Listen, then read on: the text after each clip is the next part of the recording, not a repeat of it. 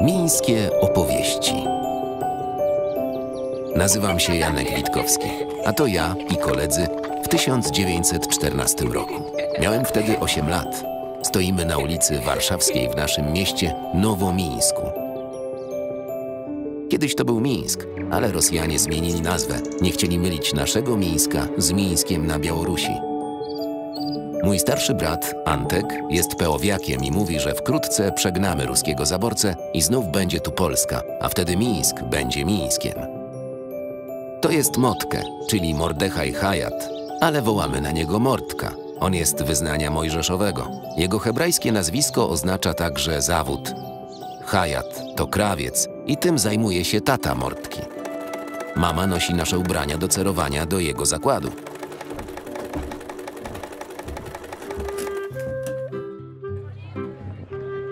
W naszym mieście prawie połowa mieszkańców to Żydzi i choć mają zupełnie inne zwyczaje i posługują się też językiem jidysz, to nikt mnie nie rozumie lepiej niż Mordka. To mój najlepszy kumpel, taki na zawsze.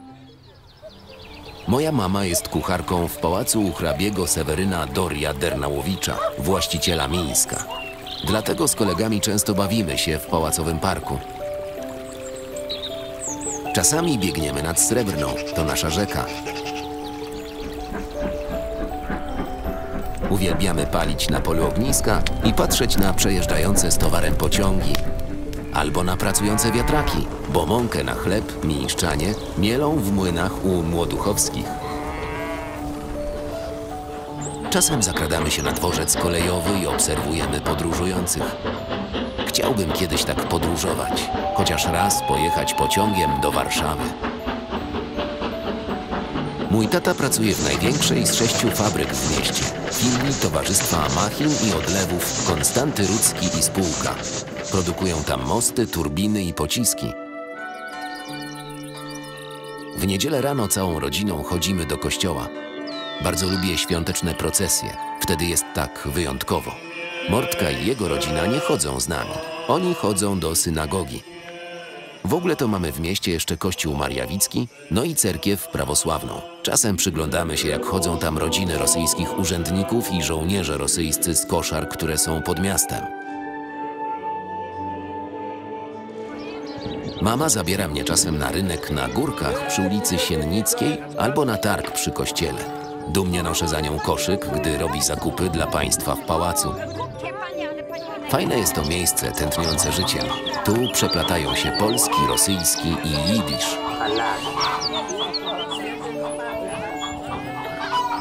Często w drodze powrotnej zachodzimy do apteki u Osetowskich. Uwielbiam te zapachy i półki pełne eleganckich flakoników.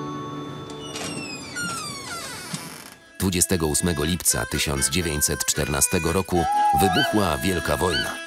Mój brat Antek uciekł do Legionów. Wreszcie mógł walczyć u boku Piłsudskiego o wolną Polskę, bo Austriacy obiecali, że po pokonaniu Rosjan dadzą nam autonomię. W sierpniu 1915 wojska rosyjskie opuściły miasto. Rosyjskich zaborców zastąpili niemieccy. W 1916 znów zmieniła się nazwa miasta. Teraz mieszkamy w Mińsku Mazowieckim.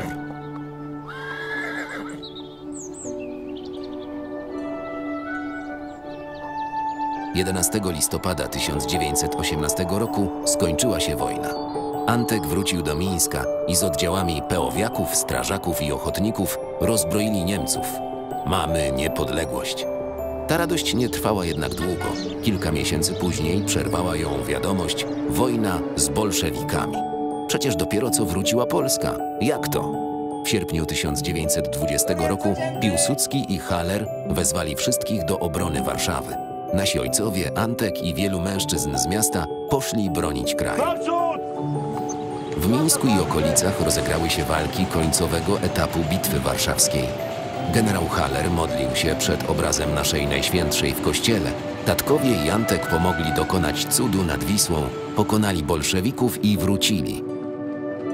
Do miasta przybył ze swym sztabem generał Józef Haller, a następnego dnia rano sam naczelny wódz Józef Piłsudski. Od 1921 stacjonował w dawnych koszarach rosyjskich 7 Pułk Ułanów Lubelskich, do którego dołączył Antek. Naprzód żołnierz! Czasem chodziliśmy go tam odwiedzić. Miałem już prawie 15 lat i chciałem się zaciągnąć. Chłopaki też. Chłonęliśmy to wojskowe życie i podglądaliśmy żołnierzy. Czasem za zaglądanie w niewłaściwe miejsca dostawaliśmy sążnistego kopniaka i ostrą burę. A ty tu co? Siódmacy opiekowali się ulubioną kasztanką marszałka, ależ było smutno, gdy padła. Pochowali ją w mińskich koszarach. Po odzyskaniu niepodległości miasto zaczęło się rozwijać.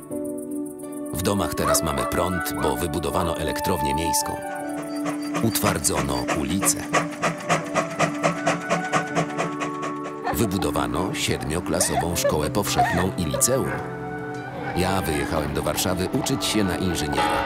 Antek został w Mińsku. Szybko rozpocząłem pracę w fabryce Rudzkiego i marzyłem o budowaniu mostów w Chinach i Meksyku, gdzie fabryka miała zamówienia. Za pierwszą pensję kupiłem tacie piękny zegarek u pana Dąbrowskiego. Mortka poznał śliczną Rachelę i założył rodzinę.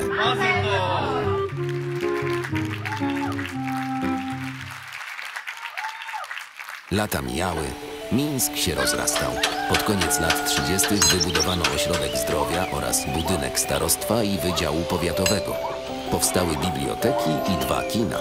Żyło nam się dobrze. Niestety w mieście miały miejsce też niechlubne wydarzenia.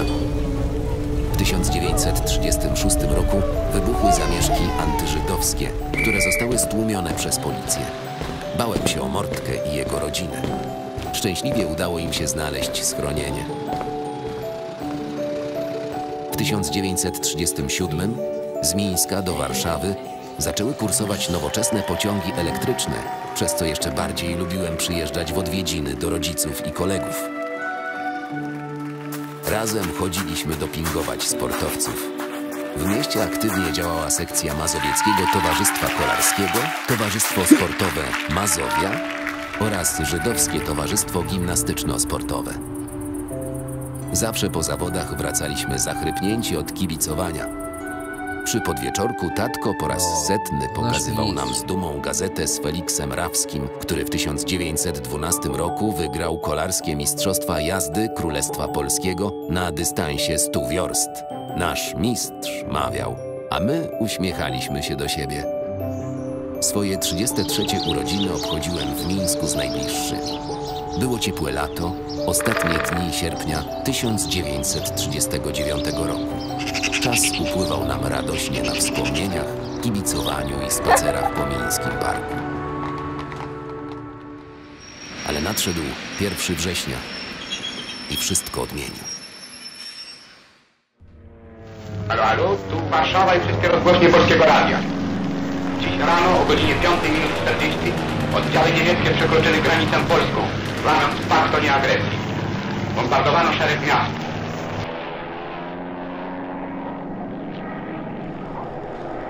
Mińsk wojska niemieckie zajęły 12 września 1939 roku.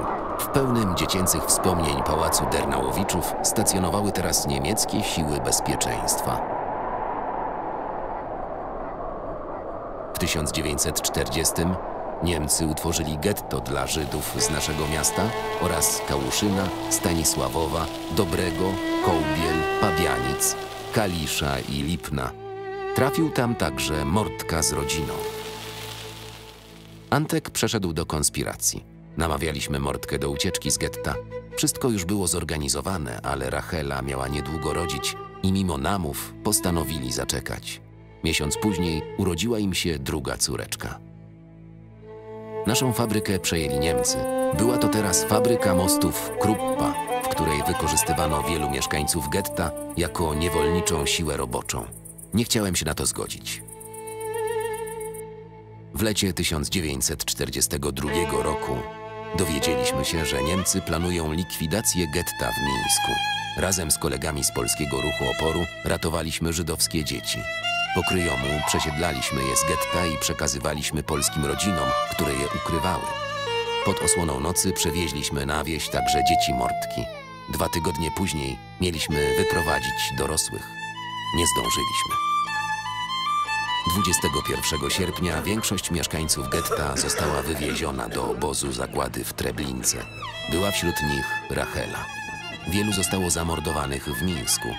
Mortka został w getcie w grupie około 600 młodych i zdrowych mężczyzn jako siła robocza. 5 stycznia 1943 roku zawsze będzie dla mnie najczarniejszym z dni. Grupa 104 żydowskich pracowników z fabryki Kruppa została rozstrzelana. Wśród nich Mortka. Kolejne rozstania z przyjaciółmi nadeszły w lutym 1944 roku.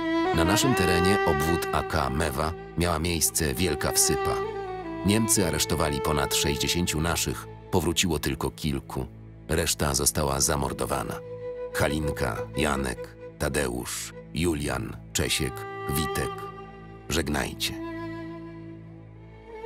Druga wojna światowa w Mińsku zakończyła się 30 lipca 1944 roku. Nasze oddziały AK w ramach akcji Burza weszły do miasta i próbowały objąć legalną władzę. Dowódcą obwodu Mewa Kamień był człowiek wielkiego formatu Ludwik Wolański, pseudonim Lubicz. Niestety niedługo do miasta wkroczyły jednostki Armii Czerwonej. Okupację niemiecką zastąpiła radziecka. Rozpoczęły się represje komunistycznych organów bezpieczeństwa wobec AK. Przeczekaliśmy ten trudny czas na wsi. Tymczasem w Mińsku rosła liczba mieszkańców, którzy próbowali odnaleźć się w powojennej rzeczywistości i rozwijali swoje miasto. Niech się święci pierwszy maj. Niech żyje nasza umiłowana ojczyzna, Polska Rzeczpospolita Ludowa. I tak razem z Mińskiem wkroczyliśmy w epokę PRL. Ale to już inna historia.